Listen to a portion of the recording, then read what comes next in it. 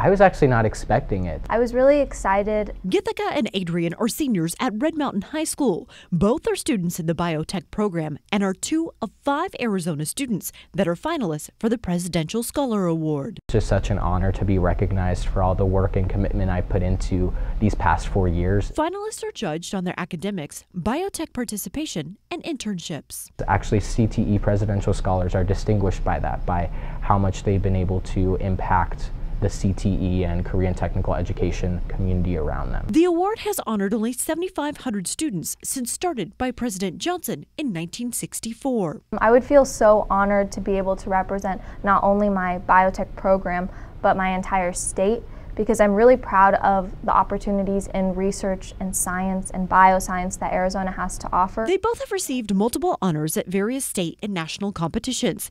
Githika is planning to go to U of A to become a doctor and physician scientist. Neuroscience and maybe molecular and cellular biology and also public health.